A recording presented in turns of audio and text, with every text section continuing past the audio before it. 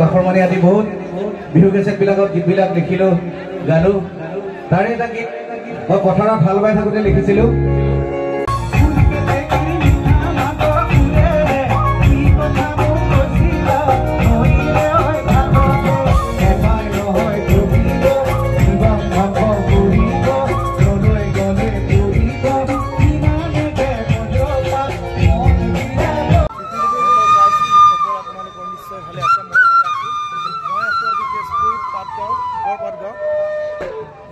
যেতিয়া আমি এনেদৰে ফাংচন চাবলৈ যাওঁ ৰাতি মনত কি ফূৰ্তি লাগে নহয় তাতে আকৌ বিপিন চাওদানৰ প্ৰগ্ৰাম ভাল লাগিছে নে ভিডিঅ'টো? চাই থাকক ভিডিঅ'টো। ফাইনেলি গাইডছ আমি বৰপাটগাঁও পাই গ'লোহি কণ্টেক্ট পাছতে আপোনালোকে চাব পাব বিপিন চাওদাঙৰ অনুষ্ঠান গীতৰ খৰাই চাই থাকক ভিডিঅ'টো অকণো স্কিপ নকৰাকৈ। আহি আহি পাই গ'লোহি আমি বৰপাটগাঁও য'ত নেকি বিপিন চাওদাং আহিব নিশ্চয় ভাল পাব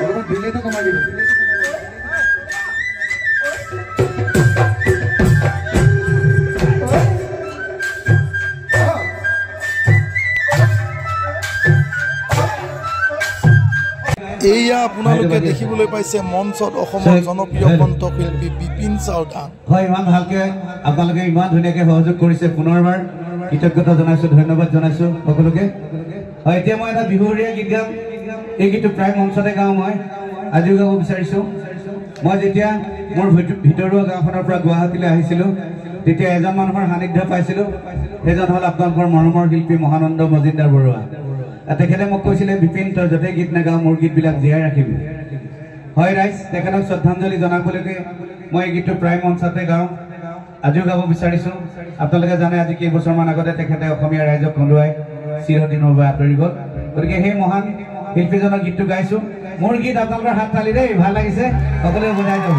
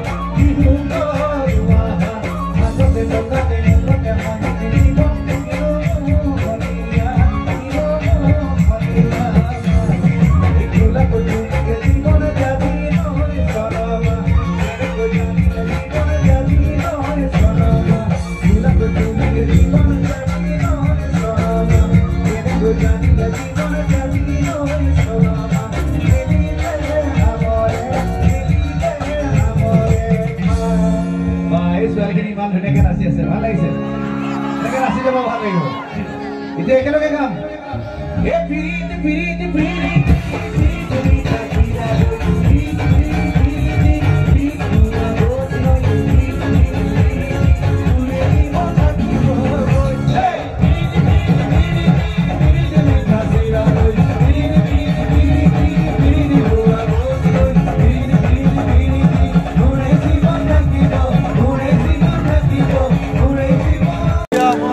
সমিতিৰ তৰফৰ পৰা মোক আপোনালোকৰ ওচৰলৈ কেইটামান গীত গাবলৈ আমন্ত্ৰণ জনাইছিলে।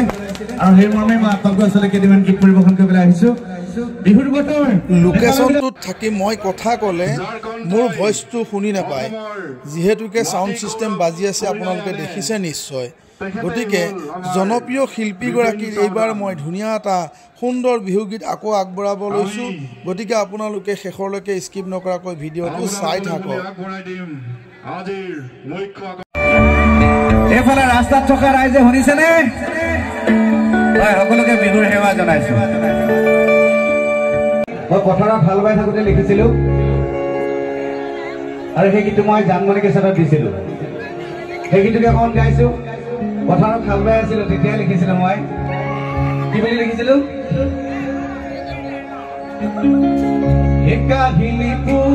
জানো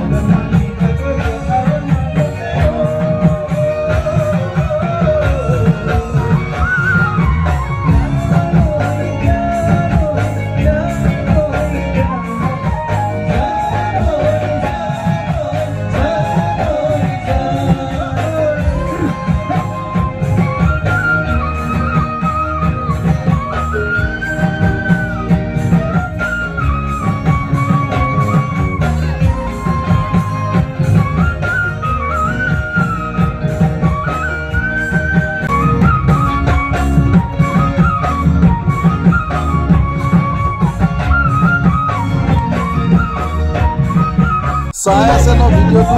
নিশ্চয় ভাল লাগিছে ভিডিঅ'টো চাই থাককচোন